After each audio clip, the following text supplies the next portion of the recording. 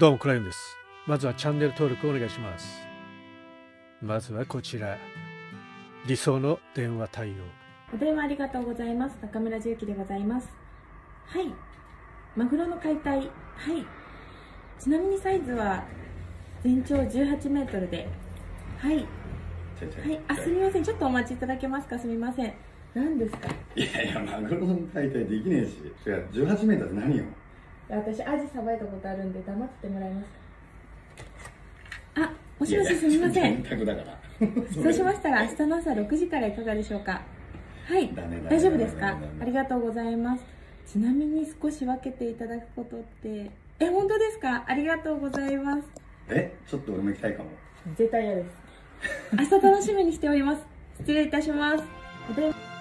少しお疲れ気味のあなたはこちらでもご覧ください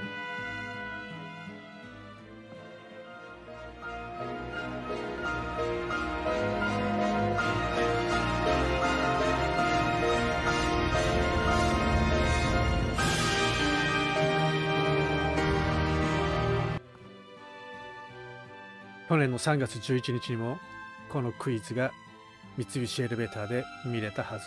そして昨日はいかがだったでしょうか。皆さんは何と入れますか？さすがにこの猫ちゃん乱暴すぎない？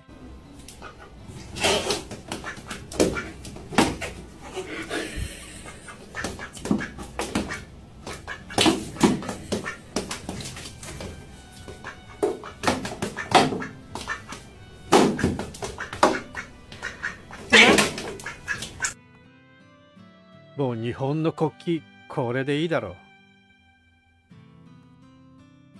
皆さんこの雑学をご存知でしょうか？だから何？って感じではありますが。4月4日と6月6日と8月8日と10月10日と12月12日は毎年同じ曜日になる。これは思わず入っちゃうだろう。WBC で大活躍のヌートバー選手。プレーもなかなかのもんですが口も達者ですね。まあ、6回にはデッドボールもありましたが体大丈夫ですか？Yeah, you know, I was rolling out that spot before the game, and you know, it got me right in the good spot. So, uh, you know, it loosened me up actually.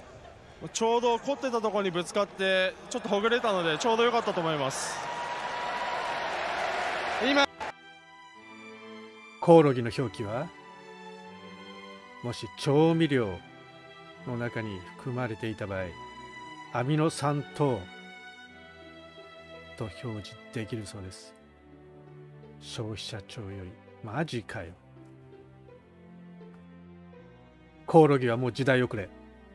次はハエだそうです。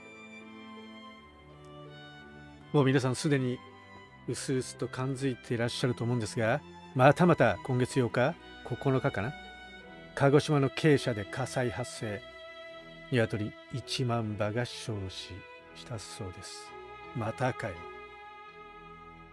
ここ最近だけでもこんなにあんだよね。昨年上半期で見てもほら世界的にやばくない？